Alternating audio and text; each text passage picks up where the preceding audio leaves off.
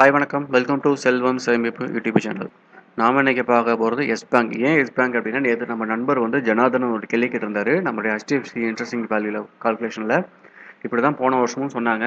But S bank என்னாச்சு அப்படின்னு கேட்டது. நியாயமான கேள்வி தான் பட் அவர் எந்த இன்ட்ரெஸ்டிங் வேல்யூ பார்த்தார் அப்படின்னு எனக்கு தெரியல. பட் இருந்தாலும் பதில் சொல்ல வேண்டியது என்னோட கடமை. இன்ட்ரெஸ்டிங் வேல்யூ அப்படிங்கிறது பேலன்ஸ் ஷீட்டில் கொடுக்கப்பட்ட தகவல் அடிப்படையில் கால்குலேட் பண்ண வேண்டியது. அதில் தவறான தகவல் கொடுக்கப்பட்டு இருந்தால் ரிசல்ட்டும் தப்பாக தான் வரும். இதுதான் ஆன்சர் இதுக்கு மேலே இது ஆன்சர் சொல்கிறதுக்கு ஒன்றும் இல்லை. ஸோ அவர்கள் தவறான கால்குலேட் கொடுக்கும்போது இங்கேயும் தப்பு தான் வரும். நாளைக்கு அந்த ஃபிகரை அட்ஜஸ்ட் பண்ணி கரெக்ட் வேல்யூ கொடுக்கும்போது அது என்னவோ அதை காட்டும். ஸோ அடுத்து எஸ் பேங்க் பற்றி இப்போ நேராக உள்ளே போயிடலாம். ஏன் அப்படின்னா எஸ் எஸ் பேங்க் பற்றி பலருக்கு நிறைய எல்லா விஷயமுமே தெரியும். இது யார் எப்போ ஆரம்பிச்சா?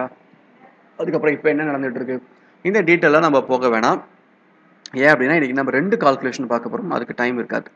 ஸோ நேரடியாக நம்ம என்ன பண்ணுறோன்னா விஷயத்துக்குள்ளே வந்துடலாம். ஸோ எஸ் பேங்கோட க்ளோசிங் ப்ரைஸ் வந்து பிஎஸ்சியில் இருபத்தாறுவா எண்பத்தஞ்சு காசு நடந்துட்டு இருக்கு. ஃபிஃப்டி டூ வீக் பார்த்தா நூற்றி ஐம்பத்தி ஏழும் ஃபிஃப்டி டூ வீக்கிலோ அஞ்சு புள்ளி அஞ்சு அஞ்சு. இதோட மார்க்கெட் கேபிட்டலைசேஷன் பார்த்தீங்கன்னா முப்பத்தி மூணாயிரத்தி அறநூற்றி தொண்ணூத்தெட்டு கோடி இருக்குது இபிஎஸும் நெகட்டிவ் பியும் நெகட்டிவில் இருக்குது சரி ஓகே இப்போ நம்ம அனலைஸ்க்குள்ளே போகலாம் டிஸ்கவுண்ட் கேஷ் ஃப்ளோ மாடலில் நம்ம ஏற்கனவே நம்ம பார்த்துருக்கோம் எப்படி அனலைஸ் பண்ணணும் அப்படின்னு. எபிட்டா கண்டுபிடிக்கணும். EBITDA earning before interest and tax இந்த பங் இந்த நிறுவனம் வங்கி இல்லையா? ஸோ அவங்க எவ்வளோ இன்ட்ரெஸ்ட் கலெக்ட் பண்ணுறாங்க அது வருமானம் அதர் இன்கம் ஆட் பண்ணுங்க. அந்த தொகையில இருந்து மைனஸ் டெபாசிட்டுக்கு இன்ட்ரெஸ்ட் கொடுக்கணும் இல்லையா? அதை கழிக்கணும். அதுக்கப்புறம் எக்ஸ்பெண்டிச்சர் இருக்கும். என்னது? எம்ப்ளாய்க்கான சேலரி ரெண்டல் அந்த மாதிரி எம்ப்ளாய் எக்ஸ்பெண்டிச்சர் இருக்கும். அதை கழிச்சிட்டிங்க அப்படின்னா வரதான் எபிட்டா வரும். அதுலேருந்து நம்ம இன்கம் டேக்ஸை கழிச்சிட்டோம் அப்படின்னா ப்ராஃபிட் ஆஃப்டர் டேக்ஸ் வரும். இது ரெண்டாயிரத்தி பதினாறு. ரெண்டாயிரத்தி பதினேழுக்கு கரெக்டான ஃபிகர் காட்டும்போது என்ன ஆச்சு அப்படின்னா அது நெகட்டிவில் போயிடுச்சு. ஸோ அடுத்தது டேக்ஸை கழிச்சிட்டோம் அப்படின்னா ஃபிகர் இன்னும் நெகட்டிவ் அதிகமாகுது.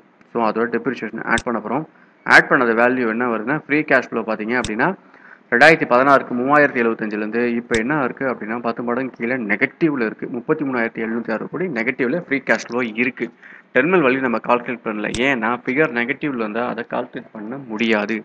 அடுத்தது weighted average cost of capital calculate பண்ணோம். எப்படின்னா ஏற்கனவே சொல்லியிருக்கோம். இந்த ஈக்குட்டி கேபிட்டல்ஸ் எவ்வளோ இருக்குன்னா இருபத்தோராயிரம் கோடி இருக்குது இவங்க வாங்கின கடன் எவ்வளோ இருக்குது அப்படின்னா ஒரு லட்சத்தி பதினொன்று ரெண்டையும் கூட்டினா ஒரு லட்சத்தி முப்பத்தஞ்சு. இது என்னன்னு போய் ஃபிகர்லையும் பார்த்துடலாம். ஸோ ஈக்விட்டி கேபிட்டல் எவ்வளோ இருக்குது டோட்டல் ஷேர் ஹோல்டர் ஃபண்ட் எவ்வளோ இருக்குது இருபத்தாறாயிரத்தி எழுநூற்றி இருபத்தாறு ரூபா இருக்குது ஸோ பாரோயிங் எவ்வளோ இருக்குது ஒரு லட்சத்தி பதிமூணு. அதான் நான் இங்கே போட்டிருக்கேன். ரெண்டு கோட்டில் ஒன்று முப்பத்தஞ்சு. இந்த ஒன்று முப்பத்தஞ்சில் இருபத்தோராயிரம் கோடி எவ்வளோ போர்ஷன்னா பதினாறு பர்சன்டேஜ் இந்த ஒன்று முப்பத்தஞ்சில் ஒரு லட்சத்தி பதிமூணாயிரம் கோடி எவ்வளோனா எண்பத்தி நாலு பர்சன்டேஜ் இதான் நான் இங்கே போட்டிருக்கேன்.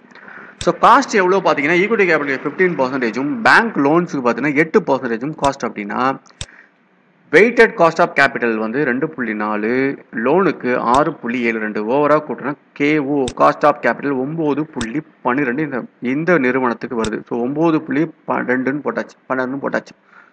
ஸோ இப்போ என்ன பண்ணணும் அப்படின்னா நம்ம ஃப்ரீ கேஷ் ஃப்ளோ கண்டுபிடிச்சிட்டோம். அடுத்தது என்டர்பிரைசஸ் வேல்யூ கண்டுபிடிக்கணும் இல்லையா? என்டர்பிரைசஸ் வேல்யூ எப்படி கண்டுபிடிக்கணும்?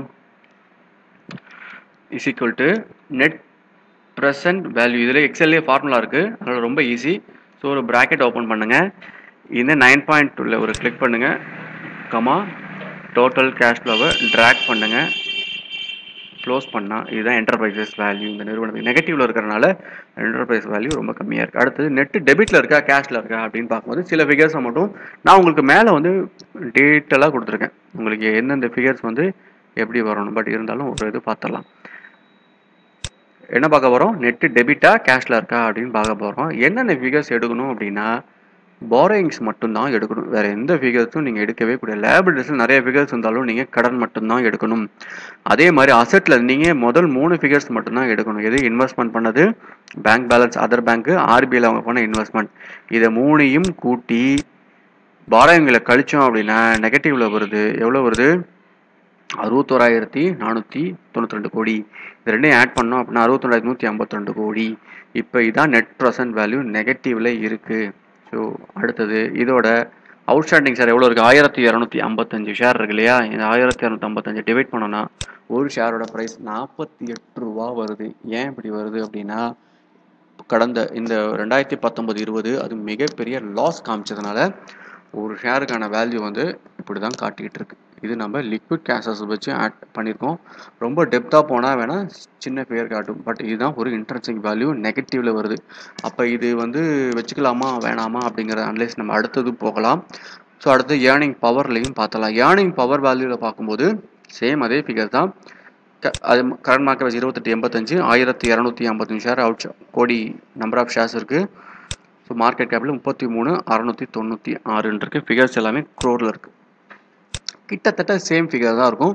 பட் நம்ம இங்கே என்ன டிஃப் டிஃப்ரென்ஸ் இருக்கும் அப்படின்னா இங்கே ப்ரொவிஷன்ஸ் அண்ட் கண்டிஷன்ஸையும் ஆட் பண்ணியிருப்போம் ப்ரொவிஷன்ஸ் அண்ட் கண்டிஷன்ஸை ஏன் ஆட் பண்ணுறோம் அப்படின்னா எப்போல்லாம் லோன் இன்க்ரீஸ் ஆகிட்டு போயிட்டே இருக்கும் ப்ரொவிஷன்ஸ் என்ன பண்ணுவாங்க? ப்ரொவிஷன்ஸ் ஃபார் என்பிஏ வந்து இன்க்ரீஸ் பண்ணிகிட்டே தான் போவாங்க. பட் அந்த ஃபண்ட் அவங்களால யூட்டிலைஸ் பண்ண முடியாது.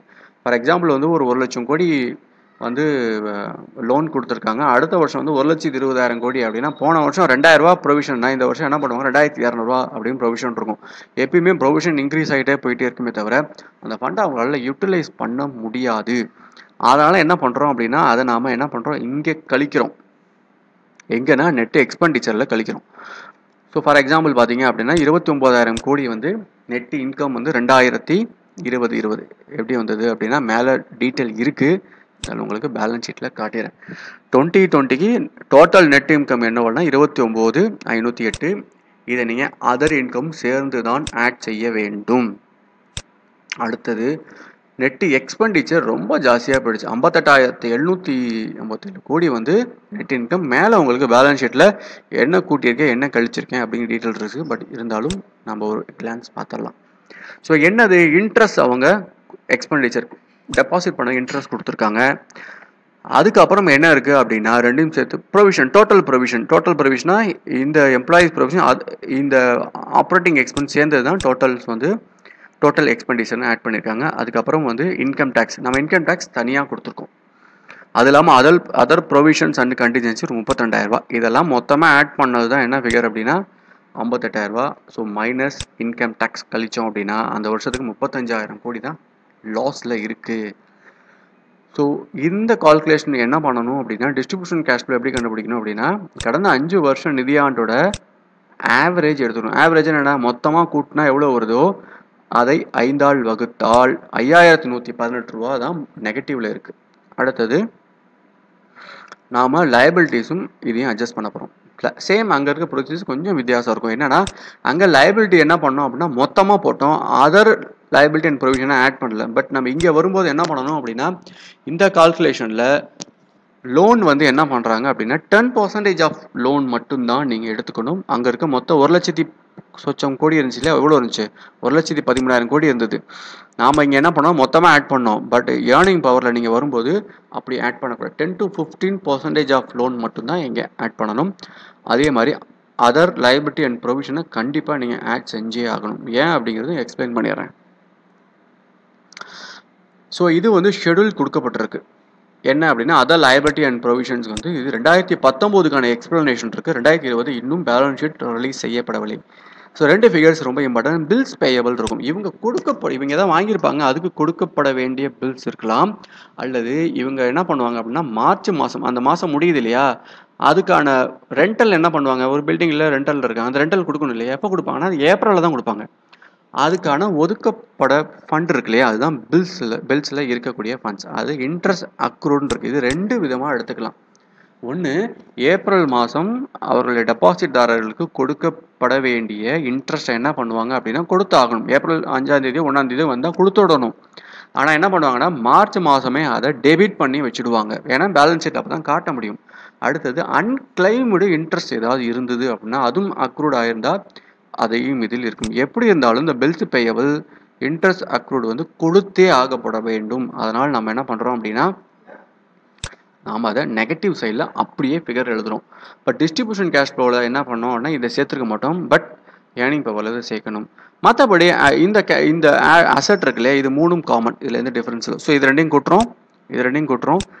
அசட்டால் லயபிலிட்டிஸை கழிச்சோம் அப்படின்னா ஃபிகர் வந்து பாசிட்டிவில் வந்து இருபத்தி மூணு எழுநூற்றி தொண் எழுபத் தொள்ளாயிரத்தி எழுபத்தி ரெண்டு ஸோ இப்போ நம்ம அடுத்தது உள்ள என்ன வர போகிறோம் அப்படின்னா நாம் அங்கே என்ன பண்ணோம்? வேக் பார்த்தோம் இல்லையா?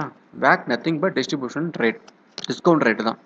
ஸோ எட்டு பர்சன்டேஜ் டிஸ்கவுண்ட் ரேட்டில் கால்குலேட் பண்ணால் இந்த ஷேரோட ப்ரைஸ் வேல்யூ என்ன அப்படின்னு பார்க்க போகிறோம் ஸோ இப்போ என்டர்பிரைசஸ் வேல்யூ பார்க்க போகிறோம் என்டர்பிரைசஸ் வேல்யூ அங்கே நம்ம பார்த்தா ஞாபகம் இருக்குது உங்களுக்கு என்ன பார்த்தோம்? என்டர்பிரைசஸ் வேல்யூ வேக்யூம் இதையும் சேர்த்து ஆட் பண்ணி பண்ணோம் இல்லையா? நெட் என்பிஏ போட்டு ஃபார்முலா போட்டோம். இங்கே உங்களுக்கு ஃபார்முலாலாம் அவசியமே கிடையாது.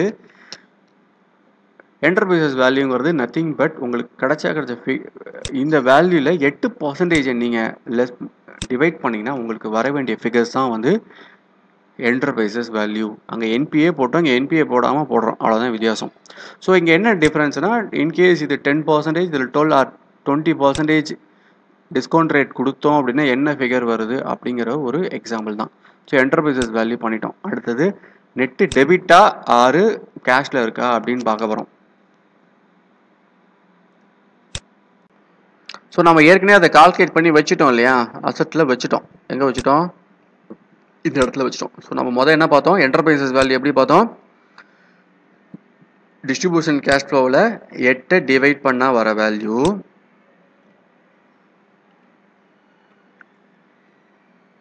நெட் டெபிட் ஆர் கேஷுங்கிறது பார்க்கும்போது என்ன பண்ணோம் அப்படின்னா அசட்டில் லைபிலிட்டி கழிச்சா வர தொகை தான் நெட்டு ஸோ இது வந்து காமன் எல்லாத்துக்கும் மாறும். ஸோ நம்ம இங்கே டிஸ்ட்ரிபியூஷனில் வரும்போது என்ன பண்ணுச்சு அப்படின்னா நெகட்டிவில் வந்து ஏன் அப்படின்னா மொத்த கடனையும் அப்படியே கழிச்சோம். பட் இங்கே நீங்கள் வந்து ஏர்னிங் பவரில் வரும்போது டென் டு ஃபிஃப்டின் தான் ஆட் பண்ணணும்னு சொல்லியிருக்கேன். ஸோ அதனால் அது அது என்ன ஆச்சு அப்படின்னா உங்களுக்கு கிரெடிட்டில் வந்துருச்சு. ஸோ இப்போ நம்ம அடுத்தது என்ன பண்ண போகிறோம் இன்ட்ரன்சிக் வேல்யூ கால்குலேட் பண்ண போகிறோம் இன்ட்ரன்சிக் வேல்யூ என்ன கால்குலேட் பண்ண இந்த ரெண்டு வேல்யூமே கூட்டி நம்பர் ஆஃப் அவுட்ஸ்டாண்டிங் ஷேர்ஸ் இருக்கு இல்லையா?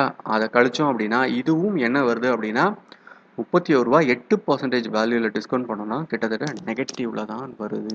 டுவெண்ட்டி பர்சன்டேஜில் வச்சா வேணால் ஒரு ஒரு ரூபா இருபத்தொம்போது காசு அப்படின்னு வருது. வேல்யூ பார்த்தோன்னா over value margin of safety நெகட்டிவில் தான் இருக்குது ஸோ இந்த பங்கை பொறுத்த வரைக்கும் இப்போ நீங்கள் யாராவது வச்சுருந்தீங்க அப்படின்னா வாங்கலாமா விற்கலாமா வச்சிருக்கலாமான்னு குழப்பமே வேண்டாம். ஏன்னா நீங்கள் ஒரு வருஷம் கண்டிப்பாக வெயிட் பண்ணி தான் ஆகணும். ஏன்னா இருபத்தி ரெண்டாயிரத்தி இருபது இருபத்தொன்னுக்கு அவங்க ஃபிகர்ஸ் என்ன அப்டேட் பண்ணுறாங்கன்னு தெரியாது. For example positive figures update பண்ணுறாங்க அப்படின்னு வச்சுக்கோங்க. ஃபார் எக்ஸாம்பிள் வந்து வந்துருச்சு. ஏதோ ஒரு வேல்யூ நெகட்டிவ் பாசிட்டிவ் வந்துருச்சு அப்படின்னா ஒரு எக்ஸாம்பிள் சொல்கிறேன் ஒரு ரெண்டாயிரம் கோடி தான் வருதுன்னு வச்சுக்கோங்களேன்.